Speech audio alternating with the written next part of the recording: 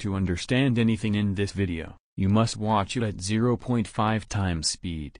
3, 2, 1. The way YouTube recommends videos is that it looks at videos watch time and click-through rate. Now in this video, with the help of you, we're going to be breaking the YouTube algorithm. If everyone was watching this video at one time speed, and everyone watched all the way through, that would mean the video would have 100% retention. If people watched a 2-minute video at 2 times the speed, that would mean that they only added 1 minute of watch time. Since you're watching this at 2 times slower speed, the retention is going to be twice as much for every single person that watches this video. That means you basically added 2 minutes of watch time for a 1 minute video. When YouTube notices this, it's going to recommend the video to other people. Now although this concept isn't new, it's still worth it giving it a try, since they might have fixed it. But there's one catch. People have to click on this video to watch it, so that's why I tried to make it simple, but clickable thumbnail for this video. If you look at the time remaining, there's still a lot of time left, and remember, we have to keep the retention for this video so it will actually work. Let's play a game. Count the number of times the ball is passed between people.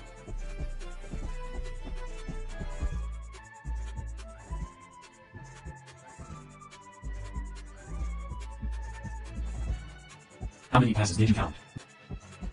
Also, did any of you see this video already or not? There was a gorilla there too. Now you're almost at the end of the video. Let's see what will happen in the upcoming days. This might work, it might not, but if it does, it's a really powerful YouTube exploit. Let's see YouTube break.